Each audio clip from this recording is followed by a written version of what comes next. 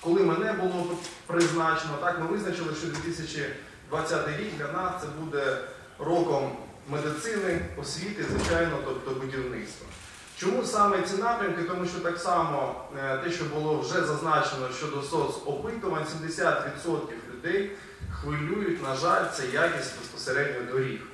Це основне питання. На другому місці це е, стояло страх людини захворіти. Тобто захворіти е, страх не від самої, тобто від хвороби, так? а е, страх того, що не буде коштів на лікування і не буде де саме е, отримати якісну медичну безпосередню послугу.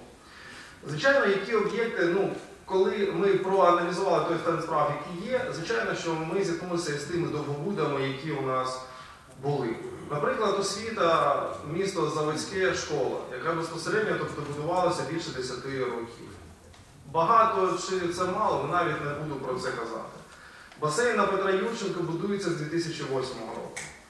Значить, е, ЦНАП так само було започатковано в 2017-му, е, не, не було нічого, збудували за 10 місяців. Тобто при нормальній співпраці, яка у нас є, я упевнений із вами, ми можемо цей стан справ змінити.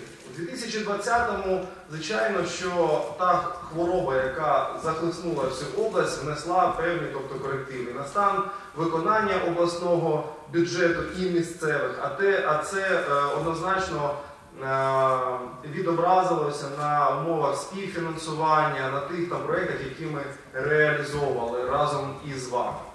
Але е, що ми змогли зробити просто декілька таких тобто, фактів.